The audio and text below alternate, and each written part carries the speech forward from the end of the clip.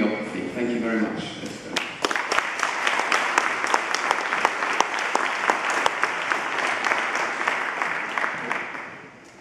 Good to see you.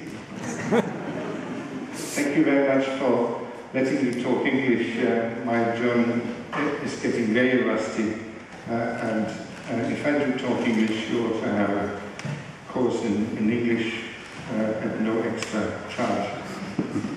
And I'm going to talk about homeopathy. Um, my personal background is that of a physician trained in, in Germany. Uh, my first job was in a homeopathic hospital. Um, then I did lots of other things. I uh, did some basic science as well. Um, uh, I did, did, a PhD in some basic science.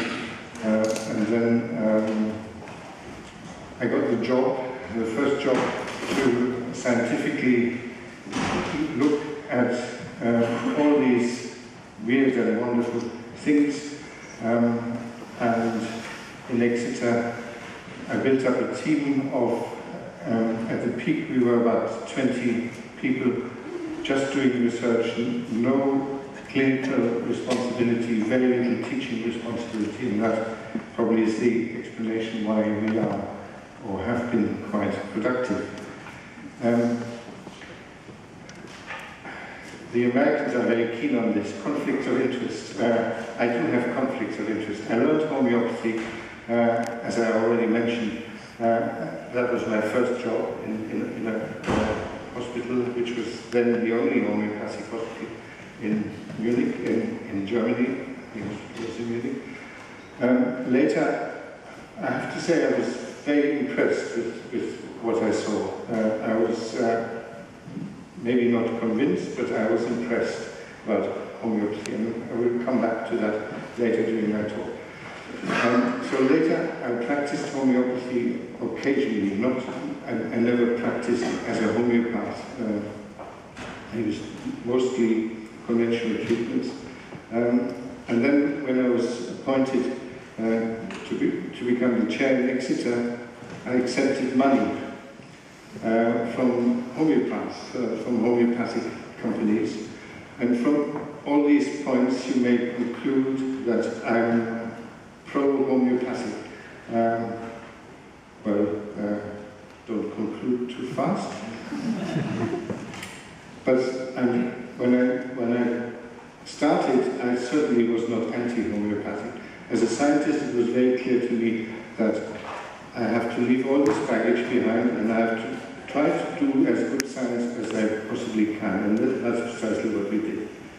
Uh, the outline of my talk is I'm going to give you a little bit of background uh, quite fast, um, because you know most of it. Um, I'm going to explain the basic assumptions of homeopathy. I'm going to show you the evidence uh, for against efficacy, the evidence for against safety, and um, I'm going to talk about homeopathy as a benign uh, placebo. Is it, is it okay to, to use it as a benign placebo? And if we are still awake by then, I'm going to arrive at some conclusions. Actually, I'm going to arrive at conclusions throughout my talk, and, and these conclusions will be in, in a yellow background. So if you do fall asleep, and open your eyes again and see some yellow background, you, you know it's a conclusion. that was uh, um, Hahnemann who invented homeopathy. When my wife is angry with me, she says I look like him. and I do have similarities with him. Uh, uh, he, he also married a French wife, uh, and I am a French wife, and uh, we are both a little bit mad. uh, homeopathy is defined, uh, and, and, this is from, from the, the, official, so to speak, dictionary of homeopathy, of which I, I'm, I was a co-worker, um, as a therapeutic method, method using preparations and substances whose effects, when administered to healthy subjects, correspond to the manifestation of the disorder in the individual patient. That's rather abstract, but I, I think you get it. Um, it's important because even though there's a 200-year-old dispute about it, um, we still spend a lot of money on it. Uh, it has been estimated that in Germany, uh, 258 million per year. In the UK, it used to be 4 million per year. It has dramatically uh, uh, uh been reduced through various activities, of which I'm rather proud of. Uh, London has probably the most prestigious uh, homeopathic hospital. The Queen is the patron of that hospital, and uh, recently, I think just a few months ago, this, this hospital was renamed. Uh, there was so much uh, pressure uh, on homeopathy in general and on that hospital in particular that it's now called the Hospital of Integrated Medicine, which by any standards is worse This is a statistic I don't even know, don't even remember where it comes from. Um, I trust homeopathic medicine, and you can see that the Indians and the South Americans are quite fond of it. Uh, that, that has historical reasons, uh, which I will not go into. And actually, in Britain, we are very modest. We always are. Basic assumptions are like cures like. Uh, you've heard of I don't need to explain. And, and something, what I call less is more. Uh, homeopaths dilute and dilute and dilute and dilute. And they claim that the, the potency of uh, the uh, remedy is increasing as they dilute. Uh, both of these assumptions fly in the face of science, as, as we know, and therefore, homeopathy has been like a red flag to scientific bull for very long time. This is just depicting what happens in, with, with these dilutions. Uh, dilutions are abbreviated D or C typically. D means dilutions 1 in 10, C means 1 in 100, and you can see that very quickly uh, there are ne negligible amounts of contents in the homeopathic remedy, um, even after just a few dilutions. And this is from uh, stolen from the Spiegel, uh, which had a big article on homeopathy about a year ago, for which I, uh, to which I have contributed, showing you the, the, the dilution and how ridiculous it is. And, and you, you have to know that a, a, typical remedy that you would buy over the counter is a C30, uh, and, and, and that is almost like one drop in the universe.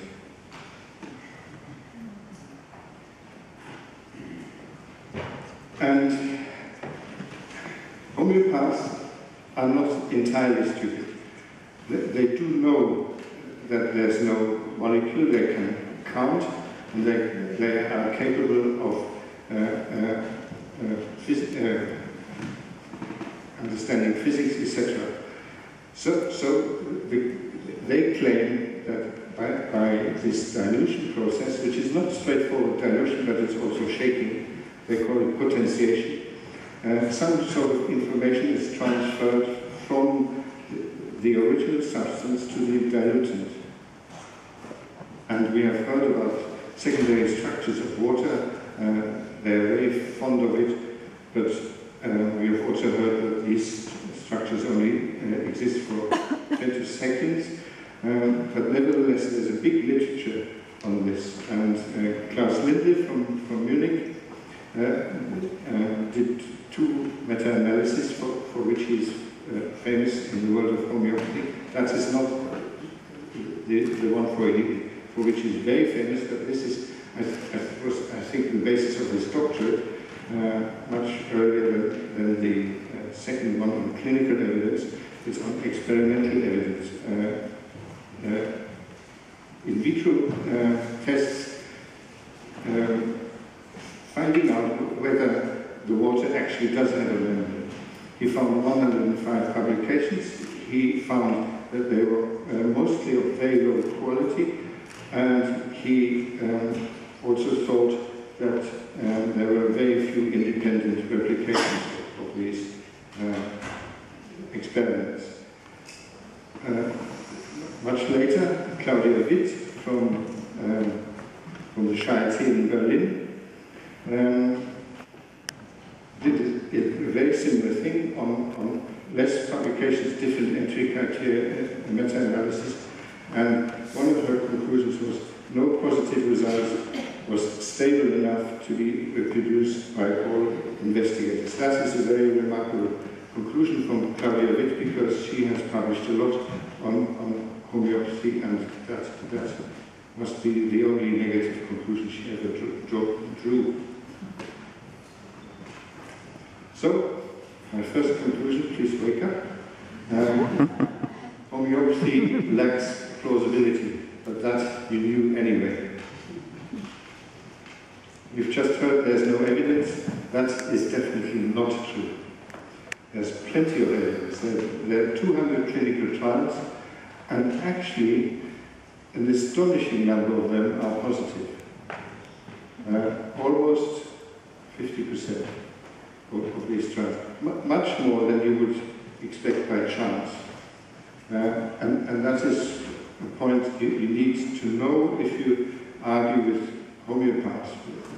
You're, you're, you're just not uh, factually correct if you say there's no evidence. But if you look at this evidence, one remarkable thing uh, that you find very often is incompatible conclusions. The, the, the methods uh, are such and the conclusions are way over the top. For this is just one of many, many examples. Homeopathy is a useful alternative to relieve pathologies associated with mental disability. And the method of, this study was a description of 53 cases. Uh, there was no uh, control, uh, and, and uh, all, most of these cases also received conventional So, so the, the, conclusion is totally unwarranted. Another one. This was a controlled, randomized, controlled clinical trial of arnica we also did an arnica study, which I'm going to, to show you, um, after uh, uh, to, to, treat postoperative pain. It was published in a highly prestigious journal called Homeopathy, um, uh, and um, it showed, if, if, you see these two uh, asterisks, three asterisks here, at these time points, it showed positive results favoring the homeopathic remedy. So, so uh, homeopathy was different at three time points. At all the other time points, uh, there was no different, difference. I drew this uh, curve. It wasn't published like this. Uh, it was published in, form of a table. You don't need a statistician. You, you only need uh, to not be blind to see that there's no difference. Uh, because it, it, the outcome measure is pain, and the proper way to, to pain is not at, at certain time points, but uh, across the, the post-operative period. And um, arguably, there's not a shadow of a difference. Uh, if you apply the, the, the, method that they used, you could probably find a statistical test that would show that placebo was more effective in reducing pain than homeopathy. So, uh, this is the this is the, the point of the argument. There are plenty of trials, uh, about 200 uh, controlled clinical trials, um, and many of them are very poor quality, many of them reach conclusions which are not warranted, and that is the point, therefore, that uh, it's wrong to say there's no evidence, it is correct to say there's no good evidence. I promised you to show you our trial, uh, we um, conducted a trial also in post-operative situation. Um, in our case, it was after carpal tunnel syndrome, CTS, and we decided to give patients arnica. Uh, because that's the classical homeopathic remedy. We were not quite sure uh, which uh, potency, that is the, the uh, correct term in, in, homeopathy to give. So we decided to give two different ones, 6C and 30C. This, this is astronomical dilution. Um, and uh, we also have a placebo group. We decided to have three main outcome measures, swelling, bruising, and pain. Carpal tunnel syndrome is, is an operation here at the carpal tunnel, and it's easily measurable. It's a very standardized operation, and, and therefore it was a good model. Um, and we found absolutely no difference in any of these outcome measures between any of these uh, three groups. When we published that, it created a bit of a furore because Arnica obviously is like the holy cow of, of homeopathy. It's, it is almost a reflex of homeopaths to give, give that to surgical patient or any trauma patient. And the homeopaths uh, then said, oh, only a, a, stupid person would, would give these potencies, only a stupid person would, would design the trial. But I tell you, before doing the trial, uh, we asked a lot of experienced homeopaths how to do it. Um, that is how it goes. only if, if the trial is positive will it be of good methodology through the eyes of the homeopath. But there's a great danger in picking the cherries out of this pie of 200 uh, clinical trials. Um, you have to look at the totality of the evidence. And the way to do that is to do a systematic review or meta-analysis. In, in the case of homeopathy, there's so many uh, systematic reviews that some time ago I decided to do a systematic review of systematic reviews. And that is it, and you can't read it because it's too small print, but this is the conclusion. The best evidence does not warrant positive recommendation for homeopathy's use in clinical practice. So squarely, squarely negative uh, results on the basis of um, systematic reviews. Homeopaths usually uh, show you their systematic reviews. They, I, I, would like to put this in inverted commas because they are not systematic reviews. They are cherry-picked results put together, look like a pretty good review if you don't know anything about the methodology. Um, um, and 40 odd trials, uh, all showing that homeopathy works. Um, and that's not how to do it. Uh, it's, it's, selectively taking out the positive trials, which, as I said, there, there are quite a few. So, if, if, if it doesn't work, why do patients get, get better? Why, as a young doctor, was I impressed in that homeopathic hospital in, in Munich? There's several reasons. First, every young doctor is very impressed when he first is let loose on his first patient. You don't sleep anymore, you're so afraid of killing somebody, um, and, and you can't stop talking to your friends about every single case, etc., etc. So that, uh, being impressed is not un unusual, but I still believe that patients do get better. And there's a mountain of observational data uh, to, to show that.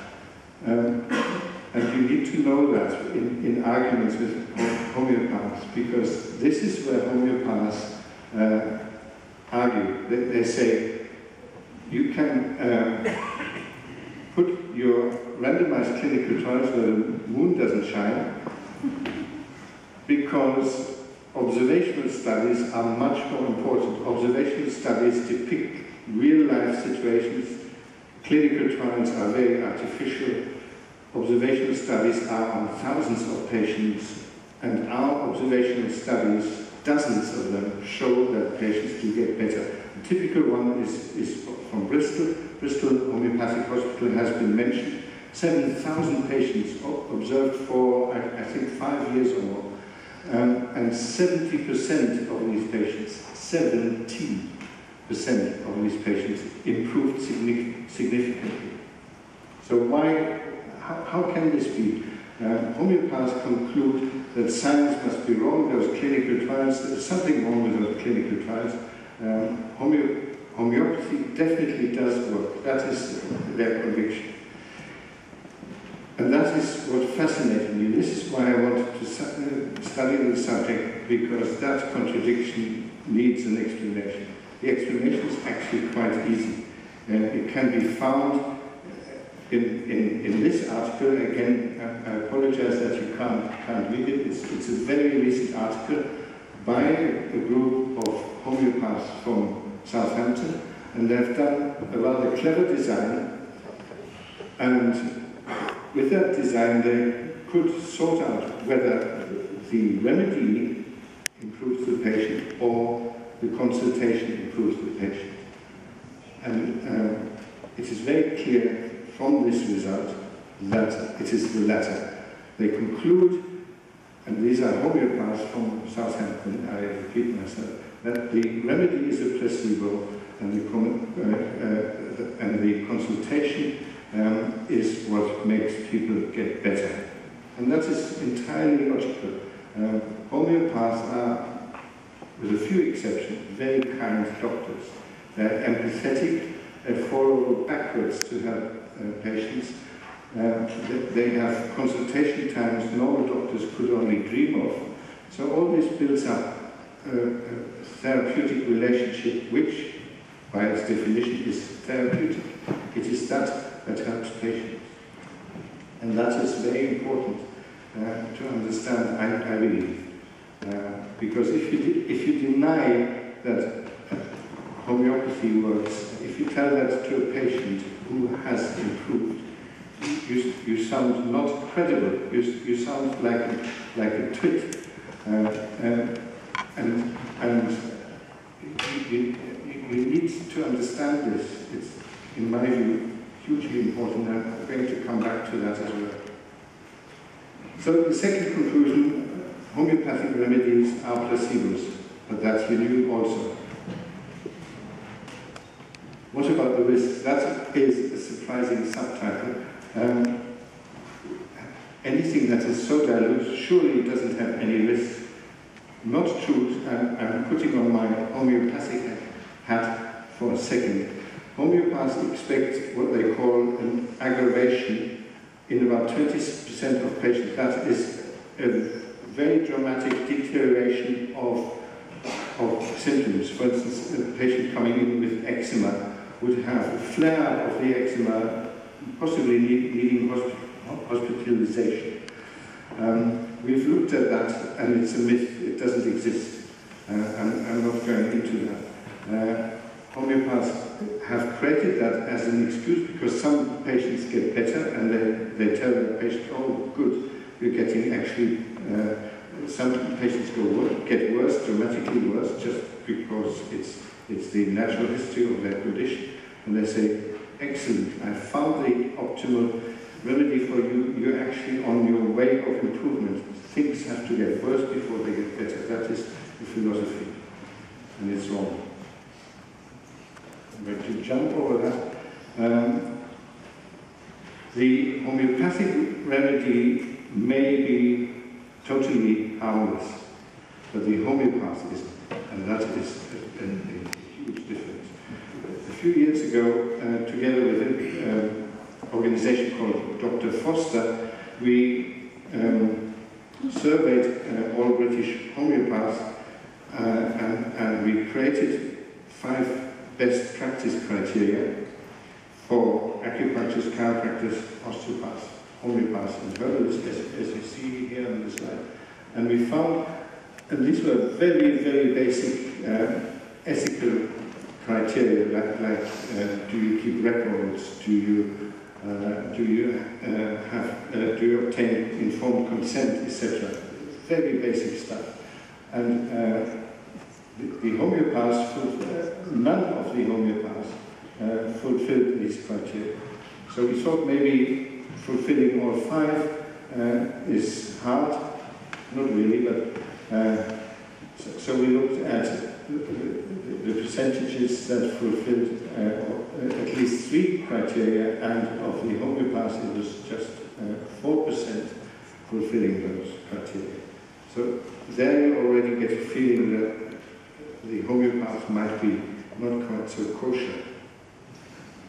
Um, and also, if you go on the internet, I, I, challenge anybody to find a disease that is not curable allegedly by homeopathy.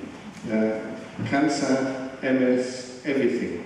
Uh, and you laugh, but it's serious stuff. Recently we had the, the, the, the, the uh, swine flu scare, and uh, when, when it actually happened, this slide is somehow mispresented, but the important bits, these are, these are uh, four days, it should be days different only.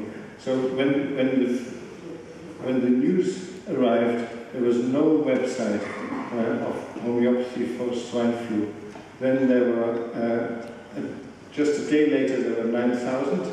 A day later, there were 26,000. A day later, there were 50,000 websites claiming that, that uh, swine flu can be uh, prevented or cured by homeopathy. And, and that is surely serious, seriously misleading stuff. Um, much more research has been done on homeopath's attitude towards vaccination. And here I have a quote from one homeopath in, in Britain. He says uh, that vaccination, uh, vaccines have in fact prevented disease can be disputed. Vaccination inherently, lowers immunity and brings on deeper disease processes. That is very much homeopathic thinking, that if you cover up a disease, uh, you aggravate it and a deeper process gets started and you actually fall much more severely later on. Um, and the anti-vaccination websites are, are not mincing their words and the homeopaths have a big hand in, in that. Um, and that is not only not ethical, it's criminal. We've done a little study, and I, even though it was a very little study, I could fill the whole evening telling you about this study. Uh, we, we looked at uh, um, email addresses of all British web uh, homeopaths, and we could find 104. Uh, we have many more, but at, at the time, uh, uh, this was uh, in 2003, at the height of the MMR scare, which was very big in, in Britain, very important because vaccination rates fell dramatically. So we found 104 uh, uh, email addresses of homeopaths and we asked them, we pretended to be a mother very confused about what, what, what she was reading in the newspapers and she asked, should I vaccinate my little child or not? Um, we, we had to then, once we had all the answers, we had to debrief those homeopaths that this was a research project and they could withdraw from, from it. So uh, of those 104, 27 uh, did just that and withdrew after debriefing. So we had 77 responses. Then we could evaluate and we found that only three of these homeopaths advised immunization and 44 advised against immunization. Uh, the rest was so and so. Um, this is just one study of dozens all over the world showing that homeopaths do advise against uh, um, conventional treatments. Why could I fill a whole evening with that tiny little study? Because there was a complaint. I have been, in the last 20 years, I have been in trouble so much, and, and that was one of the first times I got in, into real trouble. There was a complaint to our ethics committee. Uh, we obviously had ethics approval to, to do that study, um, but it, it, was so threatening that the ethics committee uh, withdrew ethics permission, and I've never in my whole life uh, heard about that being done. So I was upset. Uh, my young researcher, uh, Katja Schmidt, also German, uh, was in tears. Uh, so she wasn't any good to solve any problems.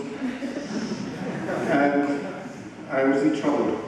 I was in, in serious trouble I, I, um, because I, I thought this is important.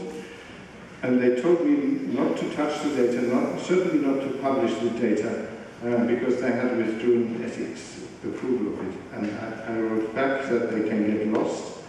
Uh, and I was going to publish the data very quickly, which, which I did. Uh, later on, I published the, full data in a journal called Maxim, but I published it very quickly as, as a letter to the BMJ, BMJ British Medical Journal, um, and then I was in very deep trouble. Um, um, publishing something that sensitive without ethics approval uh, could get you fired, and, and I knew it. And I thought, so what? and they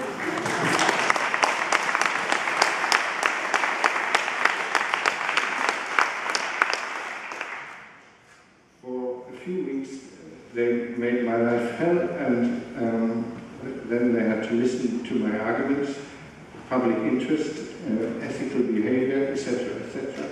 And uh, my claim was that, that the withdrawal of ethics approval was unethical. Um, and, and uh, they, had to agree with me in the end. It, it went to, to, to, to, higher and higher levels, and finally they agreed with me, and I was, was in the clear. Uh, but I'm trying to tell you that this, with this sort of events for the last 20 years happened almost every second year. I've been in so much trouble that nothing frightens me anymore. so the uh, third conclusion perhaps is surprising for you. Homeopathy is not safe. The remedy is safe, okay, but the homeopath isn't. So, what about the argument, uh, just as the previous speaker, um, don't be so fussy, uh, homeopath, uh, homeopathic remedies don't do any harm. If the patient wants it, if the patient thinks he gets better, why not do it? Why not use it as a, what I call benign and practical placebo? We can't, as doctors, write on our prescription pads placebo anymore, so writing down uh, homeopathic arnica is just as good, isn't it? No, it isn't. And again, I could give a whole lecture on that, and I will make it very short on one slide. It's not ethical because um, I have to lie to my patient. If I tell the truth and say, take this remedy, there's nothing in it, the trial data shows it doesn't work, but take it anyway, then I will not even have a, a, a placebo effect. Uh, the placebo effect can only be generated through a lie, and a lie is not ethical. Uh, when I studied medicine uh, 200 years ago, uh, that was still deemed ethical. Uh, ethicists have taught us otherwise, it is not ethical. Secondly, the placebo effect is not reliable. Uh, it happens sometimes, it happens sometimes it doesn't happen. Um, it is short-lasted, uh, and it's never uh, uh, a question of life and death. It's the effect size, in other words, is uh. It's, it's not safe. No treatment uh, that doesn't work is safe. Uh, that, that is a myth. if, obviously depends on, on, the, on the condition. If you treat a common cold, okay. If you treat a cancer, it's not safe. Nobody can claim it's safe. And surprisingly, it's not necessary because if you give an effective re remedy with empathy, understanding, sympathy, and time to a patient, which all doctors should do, in other words, if you behave like a good doctor, uh, and, and prescribe an effective treatment, then this patient will benefit from a placebo effect also. Plus, from the specific effect of the treatment that you administer. In other words, if you only administer a placebo, you cheat the patient from something that the patient deserves and needs. So, here are my conclusions. Homeopathy lacks plausibility. Homeopathy, homeopathic remedies are placebo. Homeopathy is not safe. Homeopathy cannot be recommended, not even as a benign placebo. Thank you.